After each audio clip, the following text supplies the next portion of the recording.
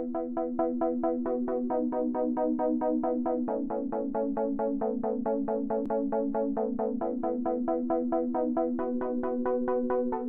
often do you change your clothes? Every day? Why are you not doing the same for your contact lens?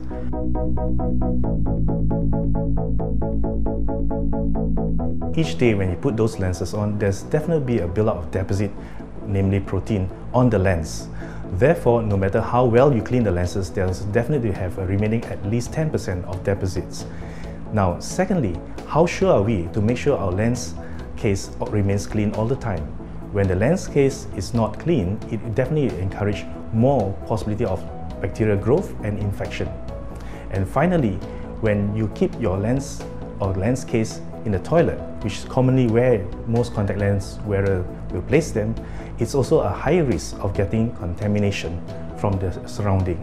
Therefore, with all these possibilities, it will definitely increase the possibility of getting eye infection and also problems, complications if you don't change your contact lens regularly.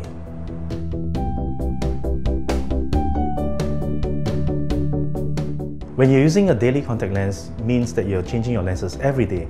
Therefore, it immediately eliminates all the unnecessary risks of getting an eye infection.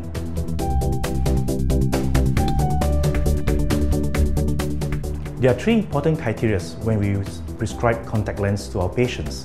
Firstly, we ensure that it must give the highest level of oxygen to the eye and silicone hydrogel seems to be the material best available today. Secondly, the technology of the lens surface is so important to provide comfort and also moist when you put on those lenses. Finally, the protection against the harmful UV rays are so important today on any contact lens wear.